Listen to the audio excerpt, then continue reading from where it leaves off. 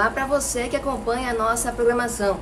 O governador Wilson Lima visitou as instalações de um hospital particular onde o governo do estado prevê ampliar a quantidade de leitos para pacientes graves de Covid-19 no Amazonas. A medida está contemplada no plano de contingência estadual, que prevê um conjunto de ações a serem viabilizadas em caso de agravamento da pandemia do novo coronavírus. Nós estamos nos preparando para os casos que podem ser agravados de coronavírus.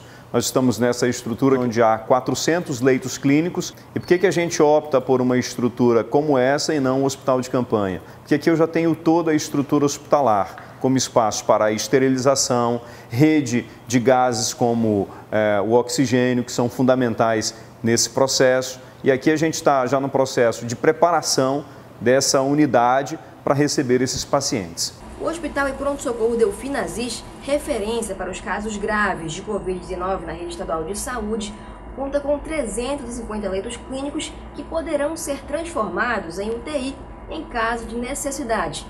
Novos respiradores para atender a demanda também estão sendo providenciados.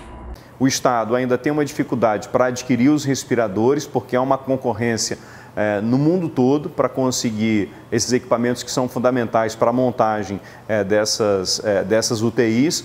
Mas nós estamos nessa briga para comprar esses equipamentos, inclusive já estamos fechando uma parceria com uma empresa do Distrito Industrial e a UEA para fazer a fabricação desses equipamentos. A gente volta a qualquer momento aqui na programação. Até mais!